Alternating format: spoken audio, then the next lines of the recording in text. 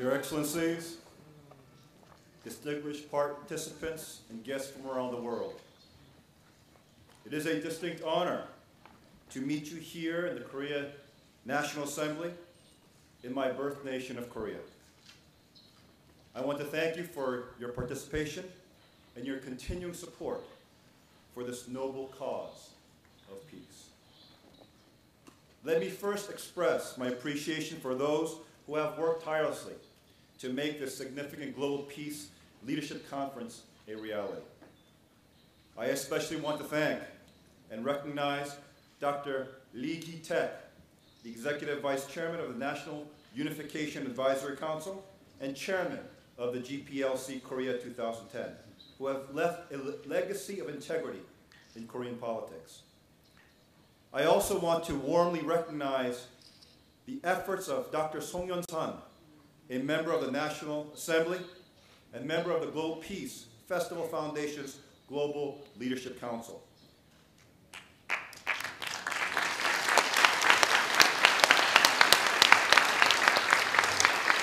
As well as all the members of the Global Peace Leadership Co uh, Conventions organizing committee, cooperating government agency partners, and countless volunteers for their dedicated efforts in organizing these important deliberations. I also want to salute and thank my good friend and mentor, Dr. Manu Chandaria, who is spearheading the Global Peace Festival and Convention in Kenya with His Excellency, the Honorable President Mwai Kibaki, who will be the patron of that convention in Nairobi this next month. Please give them all, as well as all of you who have come here to this National Assembly to receive this message, a round of applause.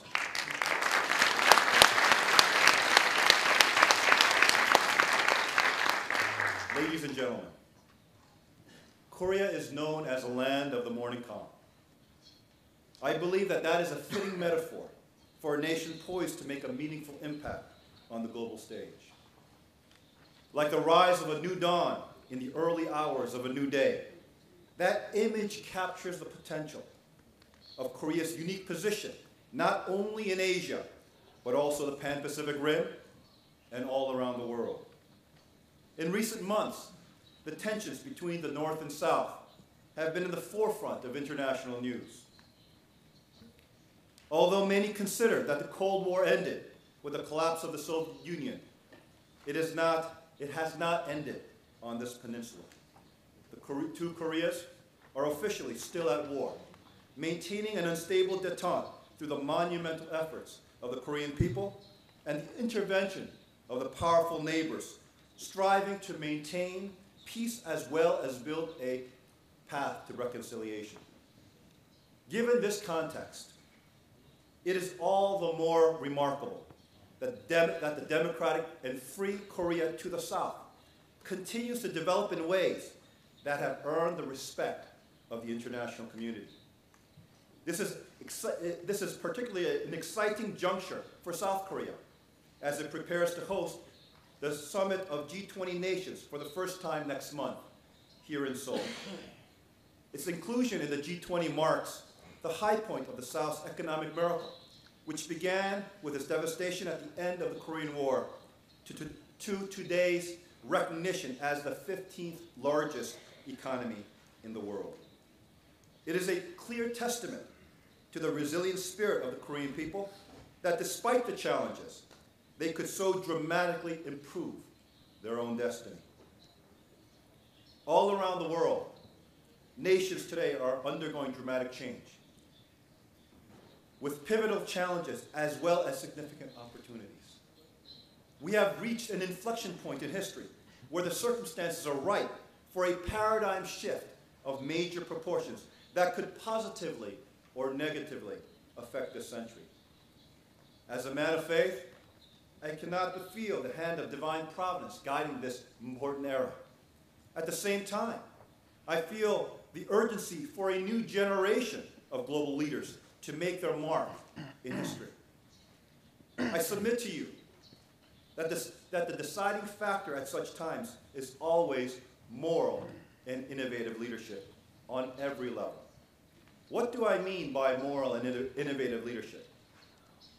First, it has to promote a greater good that can benefit not only the individual, but the larger society and eventually the nation and world.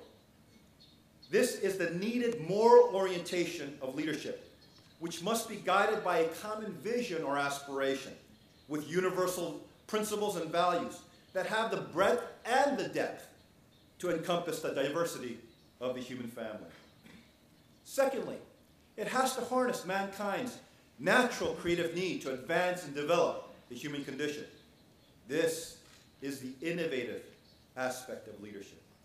In every culture, extraordinary men and women have propelled humanity forward in the fields of philosophy, ethics, science, athletics, and the arts by freely exercising their God given talents, even to the point of challenging existing paradigms. Surmounting religious, social, and legal constraints of their time, such innovators brought advances and greater freedoms to the modern world through their sacrifices.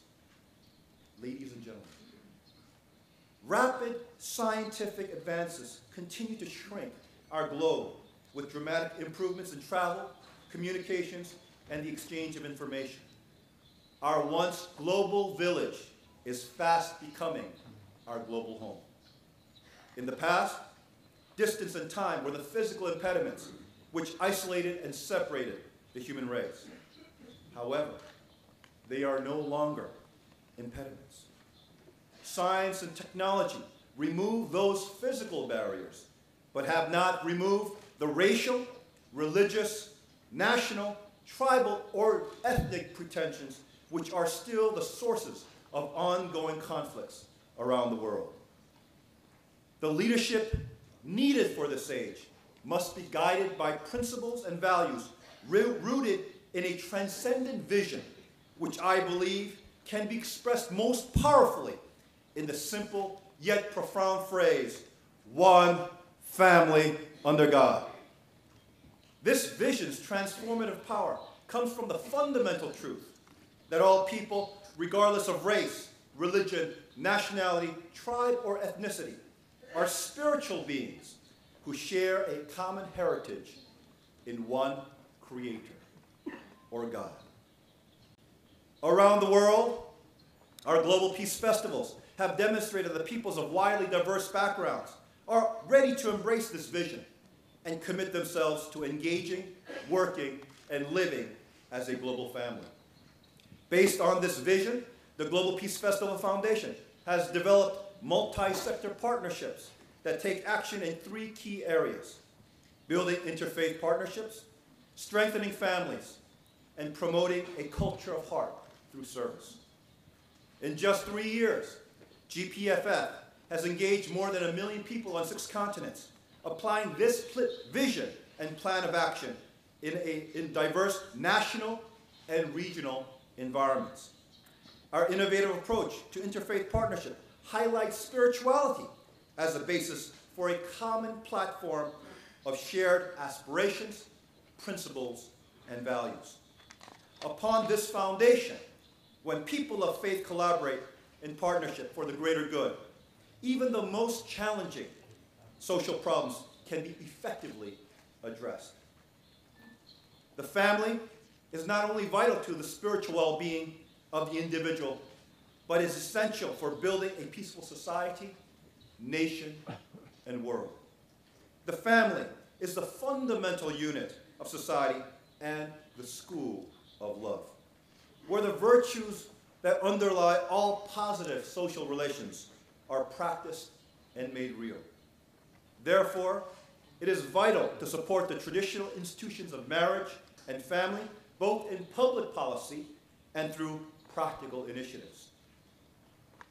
Serving others is a, is a basis for creating a culture of heart. Service initiatives that promote social entrepreneurship and community-driven development are important tools to make positive impact, tapping human creativity in collaborative problem solving. Serving together in common cause can help to dissolve barriers between peoples and can be a powerful instrument for peace, understanding, and personal transformation. Here in Korea, a new wave of service leaders is emerging called the Change Makers. Inspired by the vision of one family under God, these young social entrepreneurs, mobilized and organized by the Global Peace Youth Corps, are making significant impact through a wide range of service programs. Ladies and gentlemen, I believe that Korea has much to offer in this era. Its remarkable economic development is a testament to the proud Korean character of self-reliance, as well as government programs that solidified a sense of national identity. Infused with a social and economic initiative that affected the nation on a communal level, the foundation for the Korean economic miracle was set. This modern example of national economic growth did not take centuries, but only a few decades. Thus, it offers a significant model to developing nations that are seeking a road map to prosperity. That is why GPFF is holding this initial Global Peace Leadership Conference here in Seoul. The purpose of the GPF series of 2010 is to promote effective solutions in the developing world by actively but innovatively engaging the Millennium Development Goals. The first step is to identify successful models, then build the necessary private and public partnerships that can replicate and adapt those models in developing nations.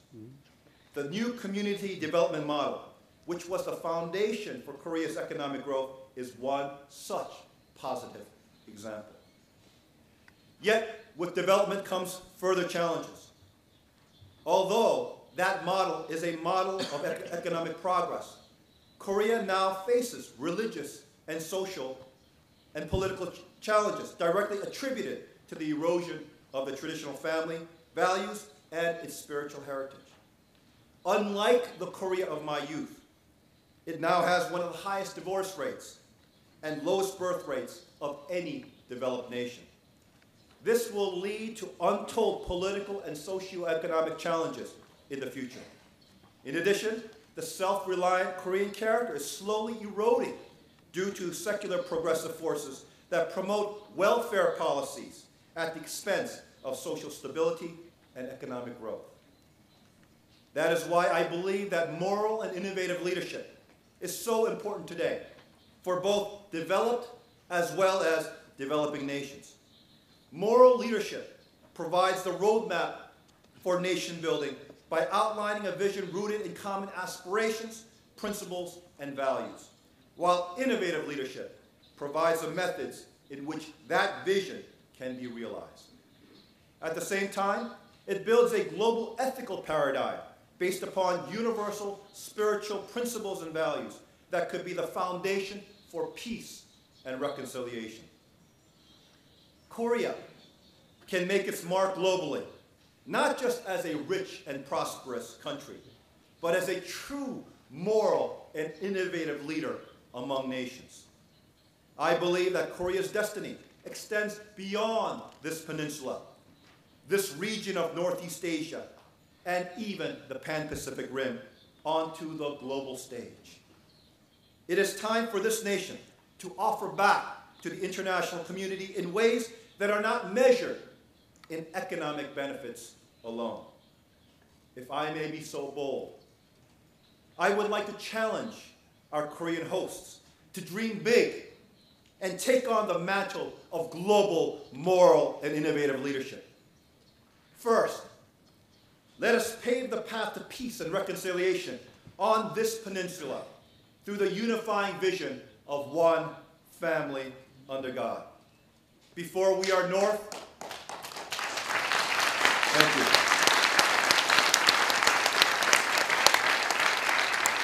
Before we are North or South Koreans, we are first and foremost Koreans who share a national spiritual heritage in Tangun mythology, as well as a common language, culture, and history. Instead of others solving the divisions of our home, let us be the authors of our own shared destiny Second, let us be the regional leaders who could arbitrate the interests of the powerful neighbors that surround Korea today to maintain peace and stability in the Northeast, Northeast Asia region as well as the Pan-Pacific Rim. Third, let us be the national advocates for the vision to create one family under God in the Pan-Pacific Rim and throughout the world, thereby being a leading nation in the global peace process.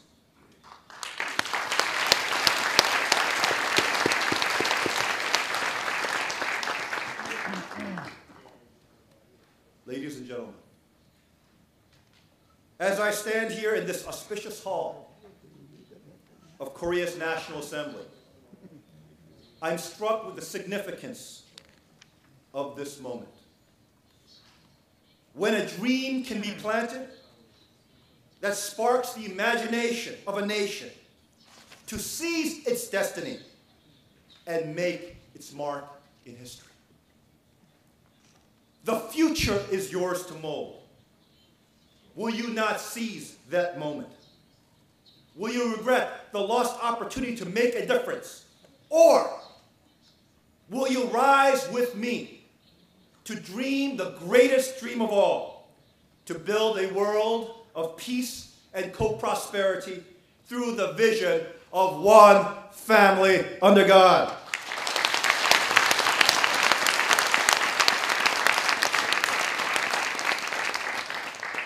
The choice is yours, and this moment is yours. May God bless you in all your endeavors. Thank you very much.